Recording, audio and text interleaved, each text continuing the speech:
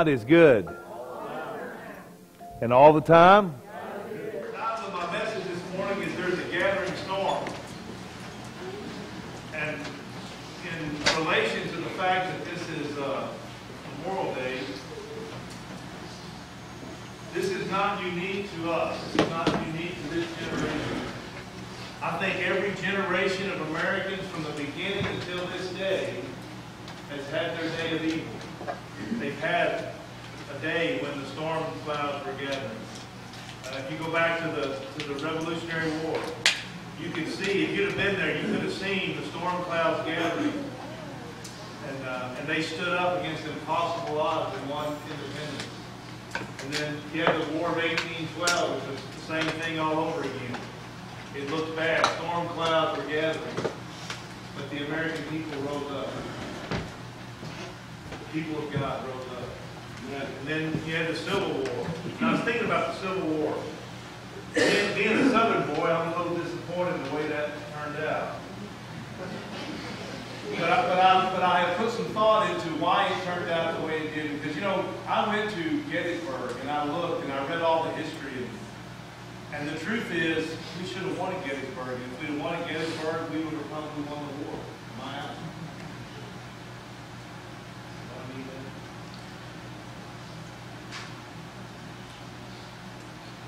I didn't know how to do it. Help you. Help us.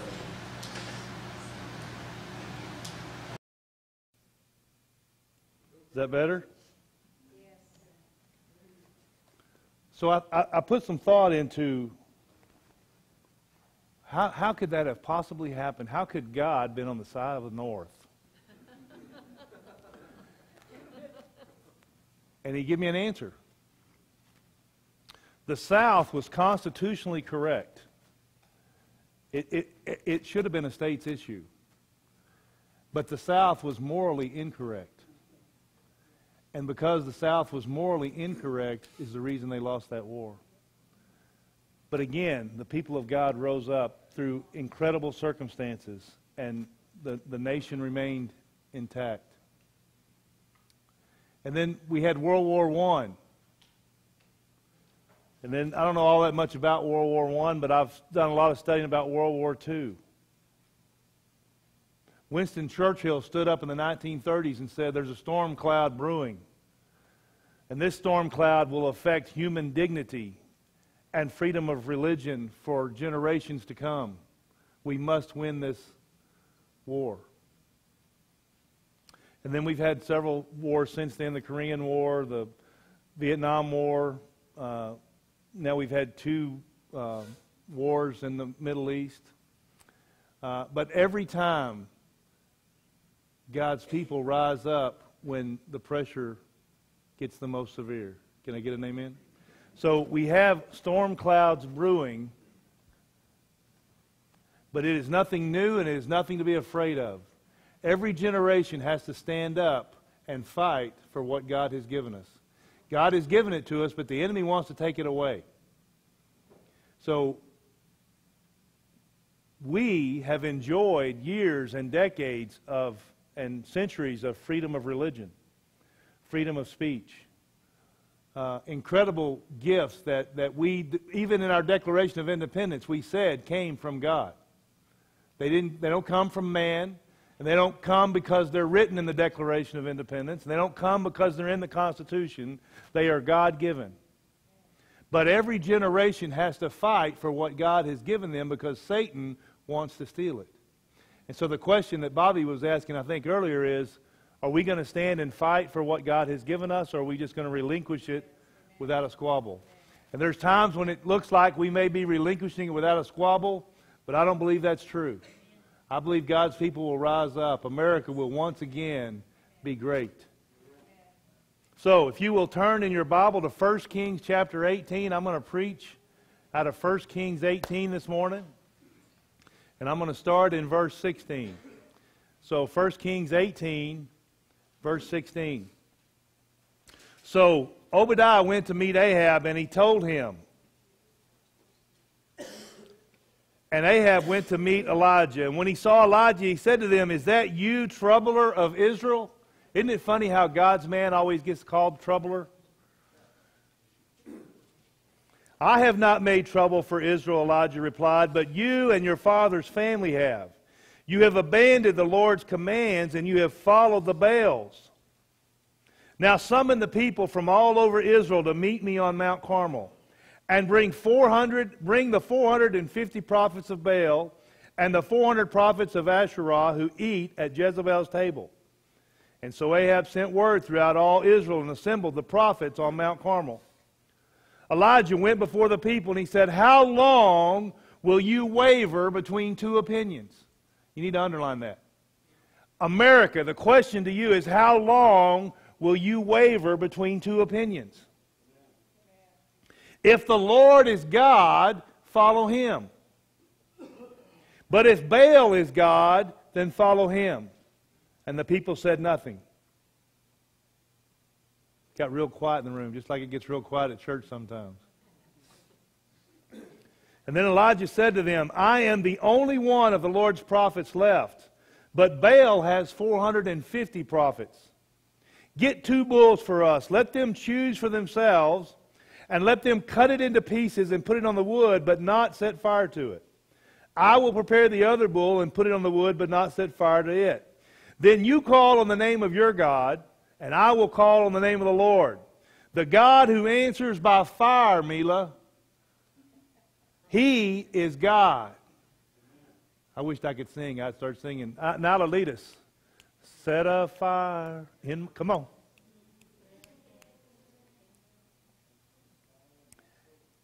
He who answers by fire, he is God. Then all the people said, What you say is good.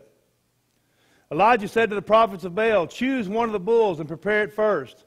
Since there are so many of you, call on the name of your God, but do not light the fire. So they took the bull given them and they prepared it, and then they called on the name of Baal from, from morning until noon. O Baal, answer us, they shouted. But there was no response. No one answered.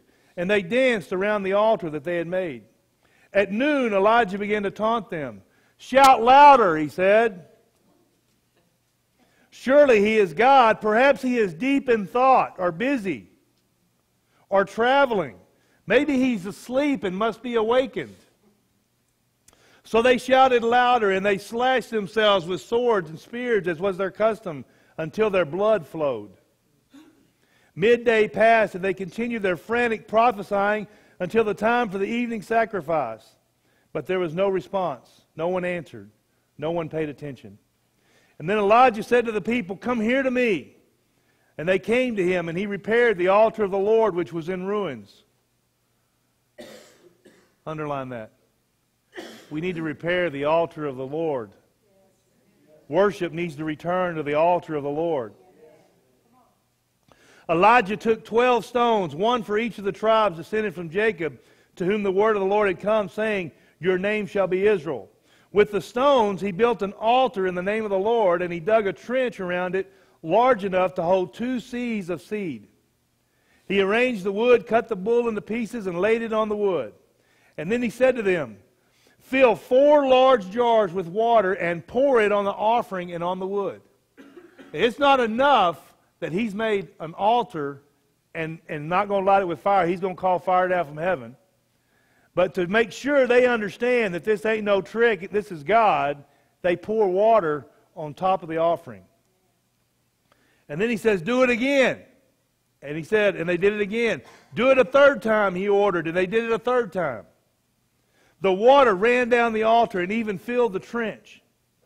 And at the time of the sacrifice, the prophet Elijah stepped forward and he prayed, O Lord, God of Abraham, Isaac, and Israel, let it be known today that you are God in Israel, and that I am your servant and have done all these things at your command. Answer me, O Lord, answer me so these people will know that you, O Lord, are God, and that you are turning their hearts back again. And then the fire of the Lord fell and burned up the sacrifice, the wood, the stones, and the soil, and it also licked up the water in the trench. When all the people saw this, they fell prostrate and cried, The Lord, He is God. The Lord, He is God. And then Elijah commanded him, Seize the prophets of Baal. Don't let anyone get away. They seized them, and Elijah had them brought down to the Kishon Valley, and he slaughtered them there. And Elijah said to Ahab, Go eat and drink, for there is the sound of heavy rain. Now remember, they just came out of three and a half years of drought. So Elijah, there is the sound of a heavy rain. So Ahab went off to eat and drink, but Elijah climbed to the top of Carmel, bent down on the ground, and put his face between his knees. Go and look toward the sea, he told the servant, and he went and looked up. There is nothing there, he said. Seven times Elijah said, Go back. The seventh time the servant reported back, A cloud as small as a man's hand is rising from the sea. And so Elijah said, Go and tell Ahab, hitch up the chariot and go down before the rain stops you. It hadn't rained in three and a half years. How foolish do you think it sounded to say, Go now before the rain catches you? I want you to notice in the beginning of that, as we started reading, who are the people worshiping? Baal. Who is Baal? The worship of Baal is the same as the worship of Satan. I heard a preacher preaching this this weekend, and he said, he said there's four things happen when, when people begin to worship Baal. I want you to write these down. Four things happen when people begin to worship Baal, and tell me if they're not all four happening in the United States right now. The first thing that happens when people begin to worship Baal is they offer their children as sacrifices to Moloch. Since 1973, 50, over 55 million babies have been sacrificed at the altar of Moloch in the United States of America, all under the guise of my choice. The second thing that happens when people begin to worship Baal is sexual immorality runs rampant. If we would have been adults, and some of y'all probably were, but if we'd have been adults in the 1960s, I imagine that the people of God were a little bit astonished at the sexual immorality that happened in the 60s. Free love, make love, not war, all that stuff that was going on in the 60s. But I'm telling you today, it is at least 10 times worse today than it was in the 60s. Today, we are flaunting every type of sexual immorality and trying to stuff it down the throats of everybody, even if they don't believe. So, the first thing that happens is the people began to offer their children to Moloch as sacrifices. The second thing is sexual immorality runs rampant. Not only is sexual immorality running rampant, but they are trying to force us, their lifestyle, on every one of us in this country. The third thing that happens when people worship Baal is they become nature worshipers. Hello. We even got a government department, the EPA, environmentalists, uh, I like to call them tree huggers, if you will. They worship nature. Now, see, I think as the people of God, it is our responsibility to take care of the planet. We should do that. But we don't worship nature. We worship the creator of nature. Can I get an amen? There's a huge difference. And the fourth thing that happens when people begin to worship Baal is God's people are persecuted. And so you, you, you that's not in full fledged at this moment, but their goal is to put the people of God on the run. All four of those are in the process of happening and have been happening in the United States for the last 50, 60 years. And now they are in a place where they feel like they can really push through and push the church out and silence the church of God. Did you know that there are movements in our culture who are trying to get the church to take homosexuality out of the Bible as a sin? Uh, this week I read that the United Methodist Church has decided that they can no longer stand against homosexuality. And so they are going to put their vote in to eliminate a statement in their statement of faith that says, homose- right now in their statement of faith, it says homosexuality is not compatible with Christianity. Uh, a, they're going to move to have that stricken from their statement of faith. And so I was talking to uh, Dr. Joel. He's not here this morning. His dad is, is uh, a leader in the United Methodist Church, and I'd asked him if he'd heard about it. And so he went and talked to his dad, and he said, yes, he had, and, and that he thought they had enough votes here in the North Texas area to pass that, where that will be taken out. But he said, when they do, I'm going to stand up and, said, and say this How much will it cost us to rewrite the Holy Scriptures? Took a minute for that to sink in, didn't it? How much will it cost us to rewrite the Holy Scriptures? Great statement. I love Dr. Joel's dad. So, but I want you to see, in, uh, you know, sometimes we read Bible stories and we think, man, that's a great Bible story, but we don't get the context of what's going on. Do you see that when this happened, Israel was in just as bad a shape, if not worse, than we are in America? The people had forgotten God. At least in America, I know full well there's a remnant all over. I don't think you can go into a town anywhere that there's not a remnant of the people of God somewhere in that town. But Israel had turned their back on God as a nation. They're doing what they want to do when they want to do it. And today in America, as a nation, we're doing the same thing. We're taking liberties that were never ours. We're pushing things on people that are not our right to push. Um, basically, we have become a very, and this happens when you, when you get blessed. And each one of us, as people of God, need to take this into consideration. We need to think about this when you get blessed, and America is the most blessed nation that has ever been on the face of the earth. But the moment you get blessed, you have to you better be prepared for that blessing. And I'm telling you, America has not been prepared for the blessing that God has bestowed on her. Because in our blessing, we have started thinking that it is our own uh, mind, it's our own work ethic, it's our own willpower that created this wealth. I don't know if there's anybody in this room old enough to remember, but you know, if you go back to the, I mean, it ain't been that long ago since the 1930s. And the late 20s and the 30s is when we had the Great Depression. And people that lived through the Great Depression, even to this day, are very frugal because they remember what it's like not to have anything. They remember what it's like when you didn't throw anything away because we can use that for something. And we're, our generation, we're so blessed, we throw everything away. We get 40,000 miles on a set of tires, and that's, that's their limit. We just throw them away. Did you know 90% of the world would, would die to have tires in good a shape as the ones we throw away? Because we're blessed. We throw away all kinds of stuff because we're so blessed. It's nothing for us to go buy another set of tires.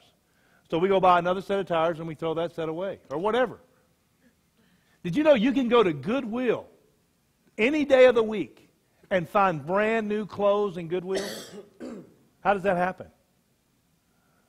Well, somebody give me that as a gift and I don't really like it. I'm going to give that to Goodwill. Now, don't get me wrong. I'm thankful that we give good stuff to Goodwill and we don't give them our trash. But the point is, we are so blessed, we throw stuff away that other people would die to have. We have no grip of reality in comparison to the rest of the world. We take our drinking water for, for granted. We have clean, even if you don't like your city water, it's still better than what's in 70% of the world. You may not like the taste of it, it may have too much chlorine, but it's clean and it won't make you sick. And if you don't like the water in your town, just go across the border and drink some in Mexico and come back and tell me what you think. we take so much for granted in our blessing. And liberties and freedom, we do the same thing with. Very few people in this room really appreciate the First Amendment like our forefathers did. In fact, I doubt if anybody in this room appreciates the First Amendment like the founding fathers did. They had never in their life experienced freedom of speech. They had never in their life experienced freedom of worship, freedom of religion. They never had experienced any of the freedoms in the First Amendment, or actually in all of, all of the Bill of Rights. And the reason they made those Bill of Rights is because they recognized that these were God given rights and liberties and should always be kept. Now, they gave them to us on a piece of paper, they wrote them down so that they would be handed down from generation to generation. And for 238 years, we've done that. We've, we've, we've passed it down from generation to generation. But we now live in a generation who does not know what it's like to be without those things. And so we've taken them for granted. And so the truth is, the situation in America today is not much different than the situation in Israel was in Elijah's day. And I want you to see how impossible it must have looked to anybody there that day when Elijah walks up as the only representative of God and says, Go call all the prophets of Baal. And there's 450 of them. Look, there's probably not much more than 100 people in this room this morning. Can you imagine one guy going up against 450 prophets of another religion? But because Elijah knew God told him to, he had no fear. He walks right up in the middle, calls those 450 prophets, and puts them to the test. They fail the test. God comes through the test. He kills all 450 prophets. What do you think the odds of that were before he got there? Nobody would have dreamed that. Nobody would have thought that. And here's what I'm telling you this morning God is looking for somebody. Pastor, no, Rob said, we need to grow a spine. God is looking for somebody with the courage to believe God and do the impossible. How many of you know God is the God of impossible? The only thing that, that is impossible is the things that are impossible in our minds. And I'm telling you, if you'd have been there, one guy against 450 prophets is an impossible situation. But God is the God of the impossible. And nothing is too difficult for him. Do you believe that? Do you believe it when you walk outside that door today, or do you just believe it in church when we're all saying the same thing? Remember, church is where everybody, nobody disagrees with me, right? Everybody. But I, I've gone outside and found out there are actually people who disagree with me. I was hurt. God is looking for somebody who's got the courage to stand up in what may seem like, from a human perspective, impossible odds and declare the glory of God. Will you do it?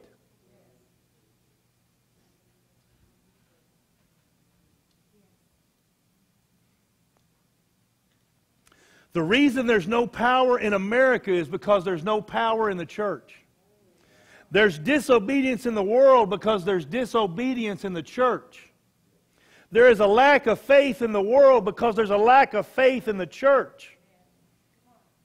The president is powerful because the pulpit is impotent. America is off course because the church has lost its sense of direction. As goes the church, so goes the nation. Look around the room this morning. This is the smallest crowd we've had on a Sunday morning in years. You know why? There's two reasons. It's a holiday and it's raining. It don't take much to keep wimpy Christians out of church. Now I'm preaching to the choir. You're here. So that ain't no reason, no, nobody in here to get offended. You're here. But there's a reason for everybody that's not here to be offended. Now, some of them may have perfectly good excuses. Don't get me wrong. I don't, I don't blame anybody who went to visit their family on Memorial Day weekend. We encourage that. But, but look at how little it takes to keep Christians out of church. Pastor Bobby was saying this morning this is what God is doing. God is drawing the line. The good news about persecution is it will get rid of all the hypocrites. If you're a hypocrite, you won't stay. You don't want to be persecuted. And if you're riding the fence, you won't stay. You've heard me say this hundreds of times through the years. And, and the numbers are coming down. They're not as high as what I originally started quoting. But if you took a poll in America, close to 80% of Americans would say they're Christians. And yet I think that number is probably 10% or less. which means 70% of Americans have deceived themselves into thinking there's something they're not. You're not a Christian just because you're not a Hindu. You're not a Christian just because you're not a Muslim. The only way to be a real Christian is to be born again by the Spirit of God. You have to make Jesus Lord of your life, and you've got to choose to follow Him. And that following Him ain't a half hearted following Him. Jesus Himself said, Those who worship the Father will worship Him in spirit and in truth. And half heartedness. No, you don't see that part in there. But how many people in America just go through the motions? They go to church when they feel like it. They read their, well, they never read their Bible. I mean, even, come on, let's be real. Most church people don't read their Bible. If you read your Bible every day, you are ahead of probably at least 98% of people who are in church. And if the church people ain't reading it, the, the worldly people ain't reading it. The Word of God is where the power to change lives is. When you read this, and it's not just reading it, but when you read it and you apply it to your life, listen, Brother Don, I love to memorize Scripture. I think every Christian ought to memorize Scripture, right? But memorizing Scriptures ain't enough. You can have Scriptures memorized from kingdom come, but if you don't do them, it's just words. It has no power. It's when you actually begin to do what God says do. You know, some of the stuff God says do sounds pretty crazy. I mean, I, have been reading sometimes and I go, man, that sounds impossible. But then I think, God's never told us to do anything that's impossible. So it must be possible. But see, we take most of that stuff like that and we just. I dare you to try it. I dare you to do it. I dare you to find something that sounds impossible to you in the Word of God and do it and see what happens. I can tell you what's going to happen. When you do it, the power of God's going to fall down. Right. You're going to experience the power of God in your life in that situation.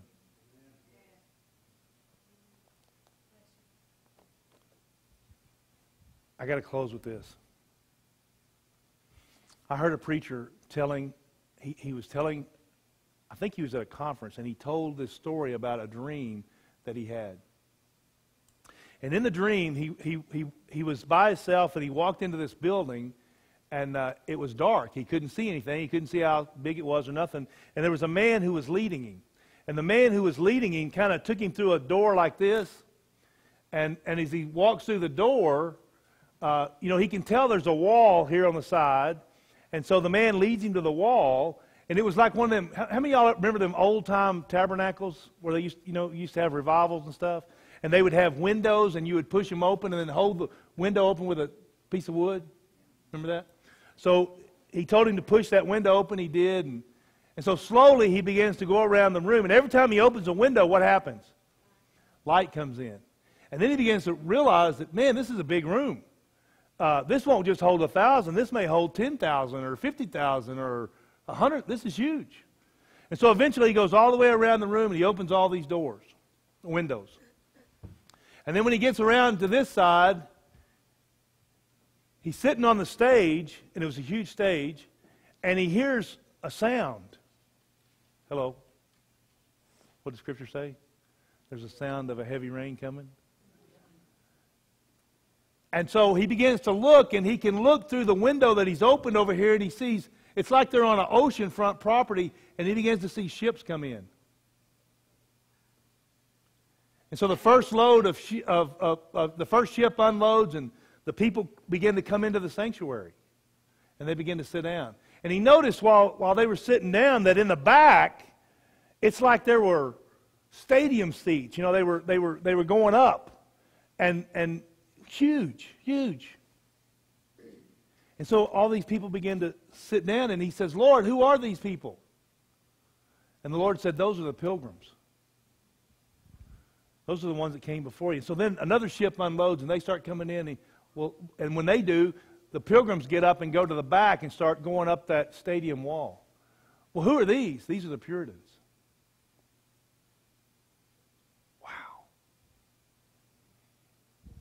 Then the next group comes in, they move to the back. Next group comes in. He said, Well, who are these? These are the pioneers. Next group comes in. Who are these? These are the patriots. Just group after group after group of people who had gone before us. And in his dream, this was just in the Americas. The people that came before us, that sacrificed, that gave their lives for the gospel of Jesus Christ. Think about what the pilgrims and the Puritans went through. Think about what the pioneers went through. Think about what the patriots went through. One of the patriots said, you know, from time to time, the tree of liberty has to be watered with the blood of patriots and tyrants. How much are you willing to sacrifice that the gospel continue to propagate in America? See, I'm telling you this morning, if you're a born again believer, you're not here by accident. And you may think you're coasting through life. You're not coasting through life. You were, you were born again for such a time as this. There is a purpose that God has in your life. Now, sometimes we may not think it's big enough. You know, I look at Rob, and Rob, I bet Rob thinks sometimes, Lord, what are you doing me? Got me here in the middle, got me driving a truck. What am I doing driving a truck? But everywhere Rob has gone, I, I, hear his, I hear his stories. Everywhere he goes, God brings atheists and agnostics to him. Well, what better way to do that than make him a truck driver and send him all over the country? They're everywhere. So don't get disgusted because he made you a truck driver. He made, he made you a truck driver because that's easy transportation to get you wherever he wants you. And it's the same way with you. I don't care what you're doing, where you're at. You may think, what, God, what am I doing here? I'm telling you, God has you exactly where He wants you for such a time as this. But you've got to be awake. You've got to be aware. I'm telling you, God is bringing people to you that He wants you to minister to, that He wants you to preach to, that He wants you to present the gospel to, that He wants you to teach and, and mentor.